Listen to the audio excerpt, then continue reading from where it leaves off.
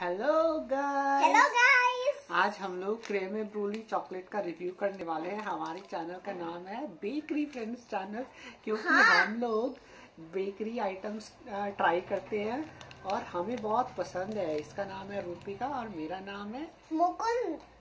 चलिए तो आज हम लोग ये ये क्रेमे ब्रूली चॉकलेट का रिव्यू करने वाले करने वाले हैं। और याद है ना क्या करते हैं फ़र्स्ट टेस्ट फिर पीछे जो लिखा हुआ है ठीक है? हाँ नहीं टेस्ट से पहले इसका इंग्रेडिएंट्स तो बताना पड़ेगा ना। हाँ। तो इसका ये देख आप लोग इसे देख सकते हैं इस पे रेड डॉट है मीन्स ये वेजिटेरियन नहीं है। ठीक है तो क्योंकि ये इम्पोर्टेड चॉकलेट है तो हमें डाउट हुआ कि शायद इसमें जिलेटिन हो सकता है, है? हाँ। तो हमने अच्छे से इसका इंग्रेडिएंट्स चेक किया है।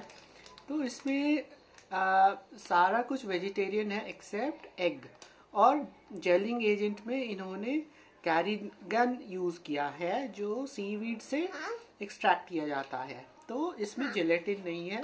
तो हम लोग इंडिया में नहीं है। हम लोग इंडिया में आराम से खा सकते हैं। हाँ।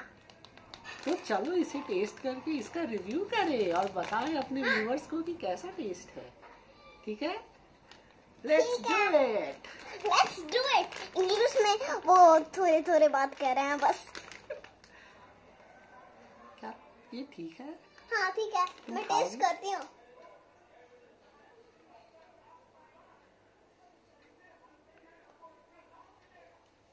आराम से खा लो फिर बताना व्यूअर्स को कि कैसा टेस्ट है। है आप भी खाना मैं भी थोड़ा सा खा लेता हूँ। मैंने तो खाया था इसलिए अभी नहीं खाऊँगा तुम ही खा लो। मैं ज़्यादा शुगर नहीं खा सकता ना मैं बहुत बूढ़ा हो गया ना मेरा शुगर लेवल बहुत हाई हो जाएगा इसलिए मैं नहीं खा रहा। लेकिन मैं छोटी सी बच्ची हूँ ना। हम्म तुम आराम से खा सकती हो। आ जाओ। हो गया खत्म। अब बताओ कि कैसा टेस्ट था। मीठा था हर चॉकलेट तो मीठा ही होता है बस। नहीं नहीं बट और चॉकलेट्स के कंपैरिजन में कैसा था? मैंने भी इसे टेस्ट किया था तो मुझे तो ये ऐसा लगा जैसे ये क्रेमे ब्रूली है तो हमने तो क्रेमे ब्रूली भी खाया हुआ है। क्रेमे ब्रूली बर्न्ड क्रीम जो मिल्क को जला के बनाया जाता है। तो दोस्तों जब मैंने इसे ट्राई किया तो मुझे इसका टेस्ट बहुत ही औसम लगा था। और इसमें क्रेमी ब्रूली का फिलिंग है। तो आ, मिल्क चॉकलेट का तो टेस्ट है ही। और क्रेमे ब्रोली का बर्न्ट क्रीम वाला टेस्ट है तो जैसे अपने यहाँ पेड़ा रहता है वो थोड़ा थोड़ा पेड़े जैसा टेस्ट है। और बर्न्ट क्रीम का बहुत ही अच्छा टेस्ट है तो ये चॉकलेट हम लोग हाईली रिकमेंड करेंगे।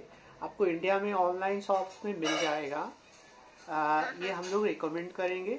ये बहुत ही अच्छा टेस्ट है इसका ठीक है? और ये चॉकलेट ये 290 ग्राम है, इसका प्राइस नाइन नाइन्टी रुपीज़ है। But it is worth the value जो पैसा इसमें खर्च हुआ, उस, उसके हिसाब से बहुत अच्छी चीज़ है। तो आप लोग ज़रूर इसको खरीद के खाइए, ठीक है? हाँ और मैं कुछ बताऊँ? मैं, मुझे वो फीलिंग लग रहा है कि थोड़ा ऑरेंज और मैंगो वाला फीलिंग मिला हुआ है, मुझे वैसा कुछ लग रहा है।